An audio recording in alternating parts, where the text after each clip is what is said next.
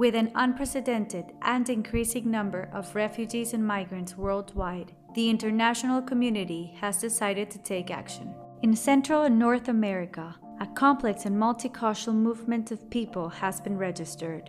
In recent years, a significant increase in the number of refugees and people in need of international protection has also been observed.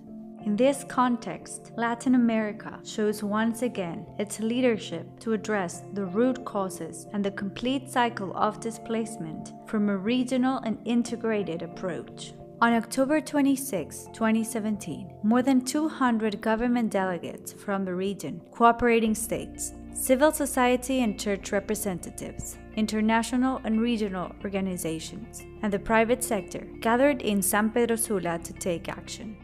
It was agreed the Comprehensive Regional Protection and Solutions Framework as a commitment to implement and adopt national chapters and the intention of developing regional cooperation mechanisms and responsibility sharing. The MIRPS objective focuses on improving protection and reception, humanitarian aid, support to host communities, prevention, and search for solutions. El éxito del MIRPS dependerá, por supuesto, del compromiso de esos estados y otras partes de la región que participan directamente en el abordaje del desafío del desplazamiento.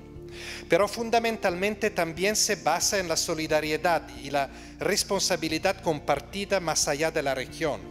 Y es esencial que la comunidad internacional esté a la altura de las circunstancias y lo respalde. Comprehensive Regional Protection and Solutions Framework